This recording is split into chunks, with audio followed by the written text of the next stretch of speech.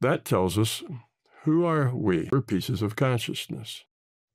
We are logged on to a human avatar. That avatar is computed, same as the avatar in a computer game.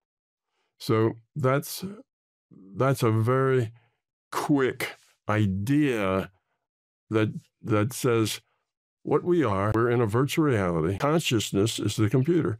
Consciousness is an information system, so it can take a piece of itself and configure it as a computer to be the rendering engine for this virtual reality so that the pieces of consciousness can make choices that are meaningful and significant and carry a lot of weight. And by those choices that they make, they evolve positively toward love or they evolve backwards, they de evolve toward fear.